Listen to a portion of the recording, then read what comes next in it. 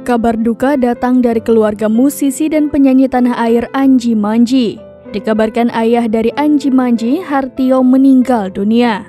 Adapun hal ini diinformasikan olehnya di Instagram, ayah Manji menghembuskan nafas terakhirnya sekitar pukul 3 lewat 12 waktu Indonesia Barat pada Selasa 16 Januari 2024 dini hari. Pada postingan sebelumnya, Anji sempat mengabarkan kondisi terakhir sang ayah yang tengah berbaring di rumah sakit.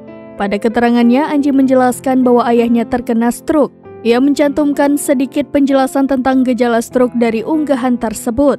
Sementara itu, belum ada konfirmasi lebih lanjut di mana ayah Anji akan disemayamkan. Begitu juga kabar pemakaman.